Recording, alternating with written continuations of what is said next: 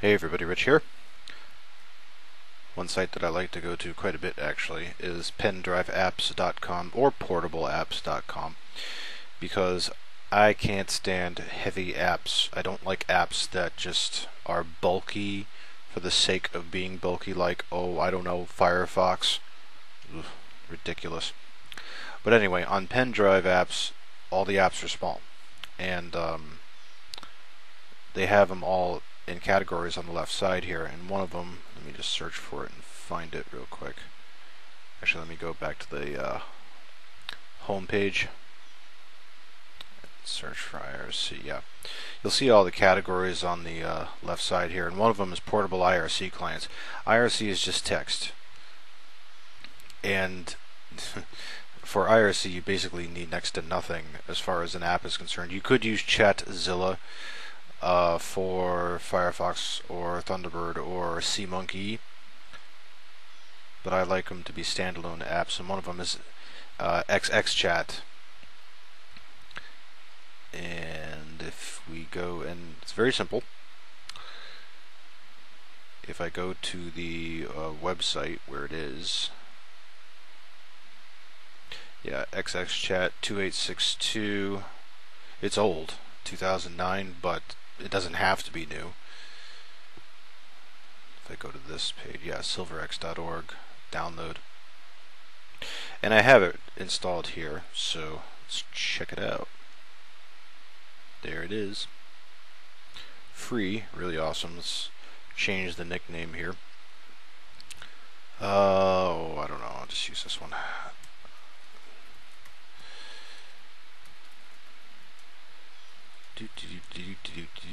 Okay.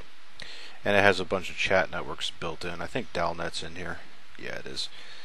If you start typing, by the way, if I wanted to find undernet, just start typing and you'll, there it goes, it jumped right to it. You'll see the uh, typed box right here. And then to get out of this, just uh, either move your mouse around or press escape. Like if I press escape, there we go. And connect. Do you want to allow access? I do.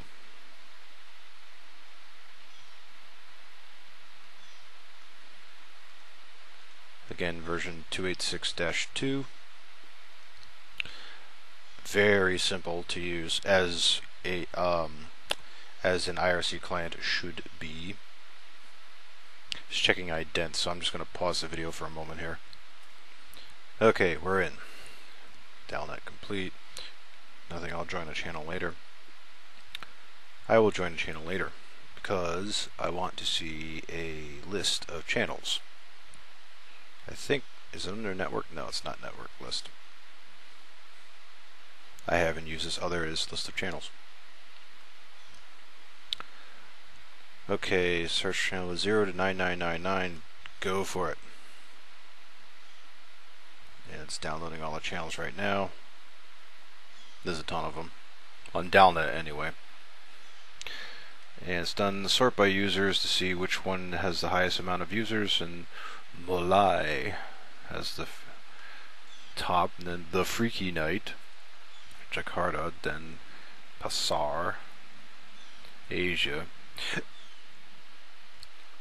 You will notice that IRC is seemingly a lot more popular outside of the United States compared to in our borders these days, but that doesn't mean that there aren't other places uh, where you can chat, you know, for United States stuff it is still true that the vast majority of IRCers these days are gamers, and you know that's no no problem with that.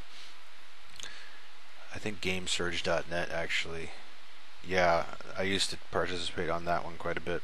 But anyway, so uh, well actually let's try a different network like uh, Freenode. So server disconnect, okay, and server Actually, let me try this. Server irc freenode.net.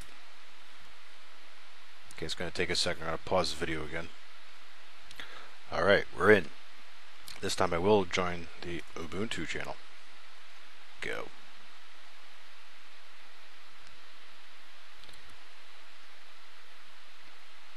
And we can chat. Actually, let me make this. Uh, oh, there we go. Much nicer.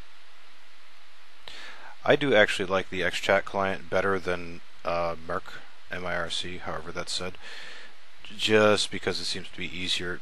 For example, you actually have color representation for chat names uh, on the right side. You can change around the interface however you want it to look like mIRC, but it's just done in a way, to me, it makes a lot more sense. So, and uh, just this layout right here, I just like this way better than mIRC. So again, it is free. You can get XChat 2 for Windows. Just go to Pen Drive Apps, and then go to the IRC portable IRC clients area, and it is right there. Totally free, totally cool, totally awesome.